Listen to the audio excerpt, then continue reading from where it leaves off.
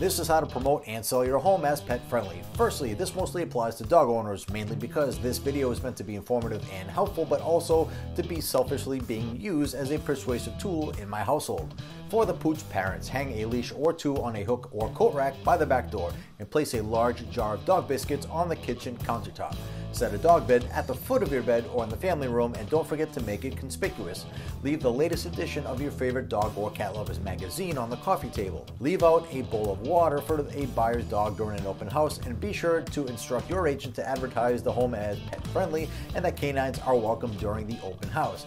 Now if you want to get fancy, install an electric fence to keep your friends contained and the new trend is to put a pet bath in the laundry room or garage. A custom built doghouse that's a replica of the main house is also an amazing amenity. And just be sure that that lawn is immaculate when you show your home. You know what I mean. If you want to learn more about this topic or grab a coffee, give me a call. I'll see you in the next one.